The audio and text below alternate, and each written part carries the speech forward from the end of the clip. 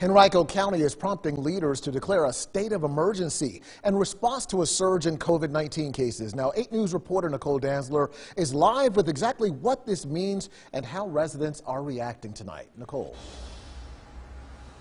Yeah, Eric Henrico County leaders signing off on a local emergency this week to boost testing resources and PPE as COVID cases rise.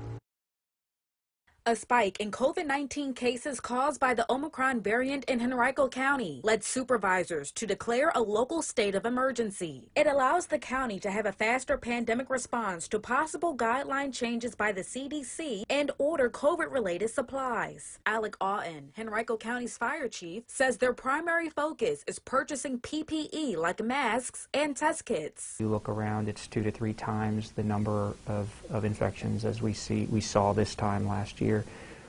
And so we're trying to be out in front of that. The CDC reports in the last week over 200 people were admitted to the hospital with COVID 19, and about 25% of Henrico's ICU beds are filled with hospitalized COVID patients. With county leaders hoping to turn the tide, resident Curtis Milam says he's not so sure. Almost two years, and it's been trying on some of us. The cycle's just as you said, going to repeat itself over and over again with the uh, Omicron variant. Chief Oughton says the local emergency declaration is just the first step in combating the county surge in cases. The community's mind at ease that we're preparing to be able to continue to be nimble, like continue to adapt to the changing environment.